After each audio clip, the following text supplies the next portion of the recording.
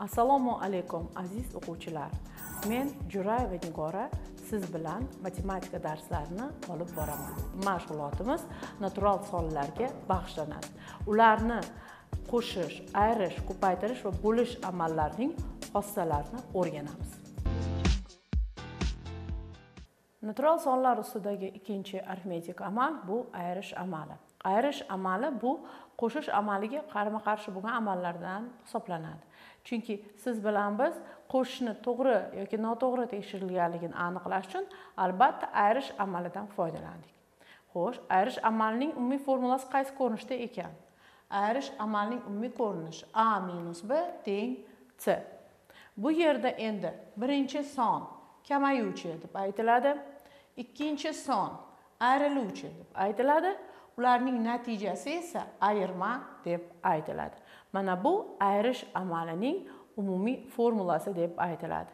Agarda bizga biror kattaliklarning ayirmasini topish talab etilgan bo'lsa shu kattaliklarni yozib ularni ayirish belgisi yoki minus belgisi bilan o'zaro bog'lanadi. Endi natural sonlarni natural sonlardan ayirganda doim ham natural son chiqavermaydi. Bu kamayuvchi va ayriluvchining qanday tanlanishiga bog'liq. Agarda kamayuvchi ayriluvchidan katta bo'lsa u holda ularning ayirmasi albatta natural son bo'ladi. Agarda kamayuvchi ayriluvchidan kichik bo'lsa u holda bu ayirmaning qiymati natural son bo'lmaydi. Mana shu tasdiq keyinchalik matematikaga manfiy sonlar tushunchasini kiritilishiga sabab bo'lgan. Chunki matematika bu juda katta fan juda keng fan bo'lganligi uchun xohlaymizmi xohlamaymizmi bizga manfiy son tushunchasi kerak bo'lgan. Mana siz yana bir bora esda olib qoling. Kichik sondan katta sonni ayirish natijasida manfiy sonlar deb atalgan sonlar kiritilgan. Chunki ularning qiymati mana bu tasdiqdan natural son emasligi aytib o'tilyapti demak har doim ham natural sonlarning ayirmasi natural son bo'lavermaydi. Natural sonlarning ayirmasi ustidagi xossalar judayam kam. Eng birinchi ya'ni o'rin almashtirish xossasi qo'shishda bor qo'shish amalida bor. Lekin bu xossa ayirish amaliga taalluqli emas. Chunki kamayuvchi va ayriluvchining o'rni o'zgarsa ayirmaning qiymati qarama qarshi songa o'zgarib ketishi mumkin. Shuning uchun qo'shishning o'rin almashtirish xossasidagi xossa ayirish amalida yo'q. Bu yerda faqatgina sondan nolni ayirganda nol a chiqadi degan xossa o'rinli. Ya'ni har qanday natural sondan nol raqamini ayirib yuborilsa qiymati berilgan songa teng bo'lgan ayirma kelib chiqadi. Mana bu uchta munosabat esa uchta sonning ayirmasi qanday topilishiga doir formullar. Agarda sondan yig'indini ayirib yuborilsa u holda shu sondan ketma ket shu sonlarni ayirish kifoya. Bu keyinchalik esa qavs ochish qoidalarining birinchisi deb olinadi. Ya'ni qavslarni tushirib yuborilsa va qavsdan tashqarida minus ishorasi bo'lsa u holda qavslar tushirilgandan so'ng qavs ichidagi qo'shiluvchilarning ishorasi qarama qarshishiga o'zgaradi. Xuddi shunday agarda sondan ayirmani ayirib yuborilsa u holda shu sondan birinchi kamayuvchi ayriladi ayriluvchi esa qo'shiladi. Mana bu yana bitta qavs ochish qoidasi. Yoki bo'lmasa uchta sonni ayirish berilgan bo'lsa siz albatta birinchi sondan ikkinchi sonni ayirasiz keyin uchinchi sonni. Yoki bo'lmasa birinchi sondan uchinchi sonni ayirib shu ayirmadan ikkinchi sonni ayirib yuborishingiz kerak. Mana bu birinchi sonni qo'zg'atganingizda siz ishorada adashib ketishingiz mumkin. Shuning uchun natural sonlar ustida ayirish amalini ketma ket bajarish shart. Ayirish amalini bajarayotganimizda ayirishga xos bo'lgan xossalarni to'g'ri qo'llashni bilishimiz kerak. Demak uchta sonning ayirmasini topish talab etilgan bo'lsin. Bu sonlar to'qqiz yuz qirq sakkiz minus o'n olti keyin qirq sakkiz. Mana shu ayirishni to'g'ri va tez bajarish uchun biz siz bilan ayirishdagi xossadan foydalanamiz. Ya'ni uchta sonning ayirmasini topish uchun birinchi sondan uchinchi sonni ayirib chiqqan natijadan ikkinchi sonni ayirishimiz mumkin. Nega ayriluvchilarni bunday tanladik? Chunki bizdagi birinchi kamayuvchi to'qqiz yuz qirq sakkiz uchinchi son esa qirq sakkizga teng. To'qqiz yuz qirq sakkizdan qirq sakkizni ayirib yuborsak u holda to'qqiz yuz kelib chiqadi. To'qqiz yuzdan o'n oltini ayirsak oddiygina sakkiz yuz sakson to'rt soni kelib chiqdi. Mana o'zingiz e'tibor qilganingizdek ayirishni biz hech qanday kalkulyatorsiz bajardik. Faqatgina sonlarning o'rnini to'g'ri almashtira olsakkina mana bunday natijaga tez erishishimiz mumkin. Shuning uchun ayirish xossalarini ham to'g'ri va joyida qo'llay bilish kerak. Ana endi ayirish amalini ham tekshirish mumkin. Ayirish amalini tekshirish uchun mana bu kamayuvchi deb aytiladigan hadimiz har doim ayirma bilan kamayuvchining yig'indisiga teng bo'lishi kerak. Endi ayriluvchi esa o'z navbatida kamayuvchidan ayirmani ayirib yuborganiga teng bo'ladi. Bu xossa yoki bu tekshirish amalini siz oddiy deb tushunishingiz mumkin. Lekin mana bu ayirishni tekshirish qoidalarini to'g'ri qo'llay ololsangiz keyinchalik tenglamalar yechishda juda tez va yaxshi foydalanasiz. Misol uchun ikki yuz yetmishdan x sonini ayrilganda bir yuz yetmish chiqibdi. Mana shu joyda bizda x bu ayriluvchi va u noma'lum. Bu noma'lumning qiymatini topish uchun esa kamayuvchidan ayirmani ayirib yuborish kifoya. Bunda yuz soni kelib chiqadi. Endi tasavvur qiling mana shu sonlarni o'rnida kasrlar boshqa matematik tushunchalar bo'lsa ham mana shu qoida doimo bajariladi. Arifmetik amallarning uchinchisi bu ko'paytirish amali. Ko'paytirish amali bu qo'shishning umlashmasi deb tushunsa ham bo'ladi. Masalan to'rtta har bir qiymati teng bo'lgan qo'shiluvchilarning yig'indisini topish talab etilgan bo'lsin. Ya'ni a qo'shuv a qo'shuv a qo'shuv a. Mana shunday bir xil qo'shiluvchilarning yig'indisini ko'paytirish amali orqali ifodalash mumkin. Buni oddiygina to'r ko'paytiruv a deb olamiz. Demak har biri o'zaro teng bo'lgan nta qo'shiluvchining yig'indisi n ko'paytiruv shu qo'shiluvchining qiymati deb olingan. Ana endi ko'paytirishning umumiy formulasi esa quyidagicha yoziladi. A ko'paytirilgan b teng c. Ayrim adabiyotlarda yoki kitoblarda mana bu qo'shish belgisiga nuqta emas mana bu e, krest belgisi ham qo'yib ketiladi. Lekin biz doimo mana shu belgi nuqta bo'ladimi krest belgisi bo'ladimi bu yerda ko'paytirish amali bajarilayotganligini tushunib turishimiz kerak. Ko'paytirishning asosiy qatnashuvchilari yoki ularning komponentalari deb aytamiz. Bu ko'paytuvchilar birinchi ko'paytuvchi ikkinchi ko'paytuvchi. Ko'paytmalarning qiymati esa ko'paytma deb aytiladi. Natural sonlarni ko'paytmasi doim ham natural son bo'ladi. Chunki hozirgina sizga aytdik ko'paytma deganda qo'shiluvchilarning bir xil sonlarni qo'shib chiqish degan ma'noni bildiradi. Masalan o'n ikki ko'paytiruv to'rt degani to'rtta o'n ikkini bir biriga qo'shish degani. Har bir qo'shiluvchi natural son bo'lgani uchun ularning ham yig'indisi natural son ekanligidan ko'paytmaning qiymati har doim natural son bo'ladi. Bunda har bir ko'paytuvchini natural son bo'lishi shart. Demak natural sonlar ko'paytmasi doim ham natural son bo'ladi degan tasdiqni biz qo'rqmasdan keltirishimiz mumkin. Ho'p ko'paytirishni bajarayotganda qaysi xossalar ishlatiladi? Ko'paytirishning ham o'ringa o'rin almashtirish xossasi bor. Ya'ni ko'paytuvchilarni o'rni o'zgarsa ham ko'paytma o'zgarmaydi. Masalan haligi misolni olaylik. To'rt ko'paytirilgan o'n ikki. Bu degani har biri 12 ga teng bo'lgan to'rtta qo'shiluvchining yig'indisi ham 48 ga teng bo'ladi va har biri to'rtga teng bo'lgan 12 ta sonning yig'indisi ham 48 ga teng bo'ladi. Demak ko'paytuvchilarni o'rni o'zgarsa ham ko'paytma o'zgarmaydi degan xulosa ko'paytirishga xos bo'lgan asosiy xulosalardan biri. Bu uning birinchi xossasi deb olamiz. Va u quyidagicha yoziladi. A ko'paytirilgan b b ni a ga ko'paytirilganga teng. Demak ko'paytirish amali kommutativlik xossasiga ega. Endi esa uchta va undan ortiq ko'paytuvchilarning ko'paytmasini qiymatini topganda ko'paytirish amali qanday bajariladi? Xuddi qo'shish kabi ko'paytuvchilarni ham oddiygina o'rnini almashtirish mumkin. Bunda qavsni qayerga qo'yishning ahamiyati yo'q. Masalan uchta sonni ko'paytmasini topish talab etilgan bo'lsin.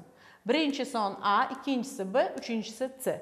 Biz birinchi va ikkinchi sonni ko'paytmasiga uchinchi sonni ko'paytirishimiz ham mumkin yoki bo'lmasa birinchi va uchinchi sonning ko'paytmasiga ikkinchi sonni ham ko'paytirishimiz mumkin. Bu ko'paytirishning distributivlik xossasi yoki bo'lmasa ko'paytirishning guruhlash xossasi ham deb nomlanadi. Endi ko'paytirish uchun yana bir xossa bor.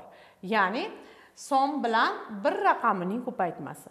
Har qanday natural sonni birga ko'paytirilganda yoki birni har qanday natural songa ko'paytirilganda shu natural sonning o'zi kelib chiqadi. Keyinchalik bir bilan harfiy o'zgaruvchini ko'paytmasida koeffitsiyentning qiymati birga teng bo'lgan koeffitsiyentni yozmasdan olishimiz mumkin degan xulosa mana shu xossadan kelib chiqqan. Endi yana bir xossa bu natural son bilan nol raqamining ko'paytmasi.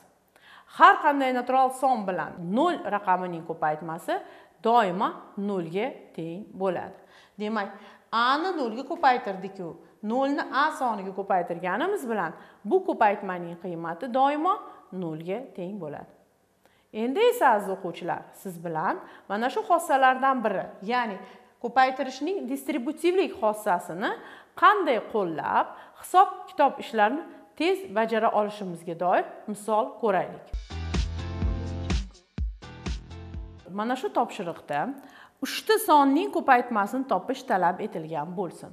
Bu sonlar 65, 25 va 4 ning ko'paytmasi. Bu ko'paytmani qiymatini oddiygina kalkulyatorsiz og'zaki hisob bilan topish mumkin. Buning uchun esa qavsni boshqa ko'paytuvchilar orasiga qo'yish kifoya. Masalan yigirma besh bilan to'rtni ko'paytmasini yuzga teng ekanligini hamma biladi. Shuning uchun avval biz yigirma besh bilan to'rtni ko'paytiramiz va chiqqan ko'paytmani esa oltmish beshga ko'paytiramiz. Natijada olti yarim ming degan son hosil bo'ladi. Demak mana shu uchta sonning ko'paytmasi olti yarim mingga teng ekan. Ko'paytirish ham xuddi qo'shish kabi va ayirish kabi tekshirish mumkin bo'lgan amallardan biri. Ko'paytirish amalini to'g'ri yoki noto'g'riligini tekshirish uchun biz bo'lish amalidan foydalanamiz. Demak birinchi ko'paytuvchini topish uchun ko'paytmani ikkinchi ko'paytuvchiga bo'lish yoki bo'lmasa ikkinchi ko'paytuvchini topish uchun ko'paytmani birinchi ko'paytuvchiga bo'lish kifoya yoki oddiygina qilib quyidagicha tasdiqni aytishimiz mumkin. Noma'lum bilan belgilangan ko'paytuvchini topish uchun ko'paytmani ma'lum ko'paytuvchiga ko'paytiriladi. Mana bu xulosa yoki mana shu tasdiq orqali biz keyinchalik tenglamalarni yechishda juda ko'p foydalanamiz. Agarda noma'lum xat qatnashgan ko'paytmadan noma'lumni topish uchun ozod sonni shu ma'lum ko'paytuvchiga bo'lib yuborish kerak degan tasdiq mana shu amaldan kelib chiqqan. Natural sonlar ustidagi eng oxirgi arifmetik amal bu bo'lish amali. Bo'lish deganda biz nimani tushunamiz? Demak a soni bilan b sonining bo'linmasi s soniga teng degani bu. A soni bu b va s ning ko'paytmasiga teng bo'lgan shartni bajaruvchi s soniga aytiladi. Ya'ni oddiygina qilib aytadigan bo'lsak a sonini beta bo'lakka bo'ldik degan ma'noni bildiradi. Shuning uchun a soni bo'linuvchi b soni bo'luvchi s esa bo'linma deb aytiladi. Bu bo'lishning komponentalari. Demak bo'lishda bo'linuvchi bo'luvchi va bo'linma degan so'zlar ishlatilar ekan. Endi natural sonlarning bo'linmasi doim ham natural son bo'lavermaydi. Chunki a soni har doim ham b soniga qoldiqsiz bo'linavermaydi. Misol uchun oddiygina to'rtni uchga bo'lib ko'raylik. To'rtni teng uchta bo'lakka bo'lish qiyin. Shuning uchun mana bu javobda butun son kelib chiqmaydi. Butun son tugul natural son ham kelib chiqmaydi. Shuning uchun biz qo'rqmasdan natural sonlarning bo'linmasi natural son bo'lavermaydi degan tasdiqni aytishimiz mumkin. Natural sonlar ustidagi bo'lish amali quyidagi xossalarga ega. Qo'shning o'rin almashtirish distributivlik xossalari bu amal uchun ishlatilmaydi. Chunki har qanday sonni bo'layotganimizda bo'linuvchi bilan bo'luvchini o'rnini almashtira olmaymiz. U holda bo'linmaning qiymati ham o'z o'zidan o'zgarib ketadi. Shuning uchun bo'lishda kommutativlik xossasi distributivlik xossalari o'rinli emas. Bo'lishning eng asosiy xossalaridan biri bu natural sonni nol raqamiga bo'lish mumkin emas degan tasdiq bor. Bu tasdiqni biz yodda saqlashimiz kerak. Chunki bu tasdiq orqali keyinchalik kasrlar haqida tushuncha berilganda uning mahraji nolga teng emas degan xulosani aytib ketiladi. Yoki bo'lmasa algebraik tenglama ishlayotganimizda kasrning mahraji nolga teng emasligini yodda tutishimiz kerak. Shu bilan birga ratsional funksiyaning aniqlanish sohasini topayotganimizda kasrning mahraji nolga teng emas degan xulosa doimo bizga kerak bo'ladi. Shuning uchun natural sonni nolga bo'lish mumkin emas. Ammo nolni biror natural songa bo'lsak u holda nol raqami kelib chiqadi. Mana bu bo'lishning asosiy xossalari lekin shular bilan birgalikda uchta sonni bo'linmasini topishni ko'paytirish bilan birga bajariladigan xossalar ham bor. Bular demak uchta sonni ketma ket bo'lish uchun birinchi sonni ikkinchi songa bo'lib keyin uchinchi songa bo'linadi. Yoki bo'lmasa birinchi sonni uchinchi songa bo'lib undan keyin ikkinchi songa bo'lish talab etiladi. E'tibor qilgan bo'lsangiz birinchi bo'linuvchining joyi o'zgarmaydi. U har doim o'zini joyida turishi kerak. Endi ko'paytmani biror songa bo'lish uchun ko'paytuvchilardan bittasini shu songa bo'lish kifoya. Har bir ko'paytuvchini bu songa bo'lish umuman mumkin emas. Shuning uchun ko'paytmani biror songa bo'lganda shu ko'paytuvchilardan bittasini shu songa bo'lish yetarli. Endi biror sonni ko'paytmaga bo'lish uchun esa shu ko'paytuvchilarning har biriga bo'lish kerak. Ya'ni a ni b va c ning ko'paytmasiga bo'lish deganda biza a ni c ga bo'lishni va chiqqan natijani b ga bo'lishni tushunamiz. Endi a ni b va c larning bo'linmasiga bo'lish deganda biz siz bilan a sonini c ga ko'paytirib keyin b ga bo'lishni tushunamiz. Ya'ni bu yerda kasrni xossalari ishlab boshlaydi. Yoki bo'lmasa shu a sonini b ga bo'lib chiqqan sonni c ga ko'paytiramiz deb yozsak ham bo'ladi. Bu keyinchalik bo'lish amalini to'g'ri va tez bajarilishga sabab bo'ladigan xossalardan biridir. Shu xossalarni to'g'ri va joyida qo'llanilsa ko'p xonali sonlarni bo'lish tez bajariladi. Bo'lishning xossalaridan foydalanib quyidagi uchta sonning bo'linmasini topaylik. Bu yerda kalkulyatorsiz shu xossalarni to'g'ri qo'llab bo'lishni bajaramiz. Demak ikki yuz qirq uch sonini 81 va 3 ning bo'linmasiga bo'lish kerak ekan.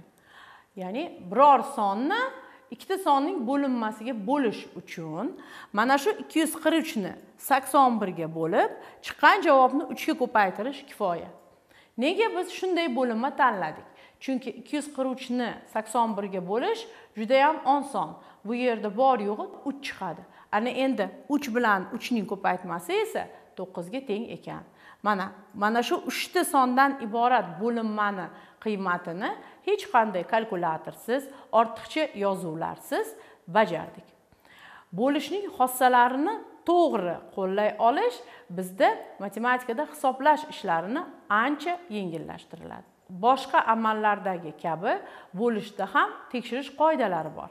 Demak a sonini b soniga bo'lsak c soni kelib chiqsa u holda a soni b va c ning ko'paytmasiga teng bo'ladi. B soni esa a va c ning bo'linmasiga teng bo'lar ekan. Bo'lishning bu xossasidan foydalanib tenglamalarni yechish mumkin. Xususan 248 ni biror x ga bo'lganda 8 kelib chiqib x ni topish uchun nima qilamiz? Buning uchun 248 sonini 8 ga bo'lish mumkin. Bu yerda 31 kelib chiqadi. Demak x ning qiymati 31 ga teng ekan. Aziz o'quvchilar bugun darsimizda siz bilan natural son tushunchalari natural sonlarning qatori sonning kanonik shakli natural sonlar ustidagi arifmetik amallarni to'g'ri bajarilishi va ularning komponentalarini ko'rib chiqdik. Mana shu mavzuga oid topshiriqlarni siz o'zingiz mustaqil topib ishlashingiz mumkin. Chunki bu mavzuga oid topshiriqlar juda yam oddiy hisoblanadi. Siz o'zingizda og'zaki hisobni shu xossalardan foydalanib shakllantirishingiz mumkin. O'zingizni bilmingizni yanada mustahkamlash uchun ekranda berilgan manzildan test va nazariy savollarni olishingiz mumkin. Shu bilan birga shu manzilda oddiy topshiriqlar ham bor.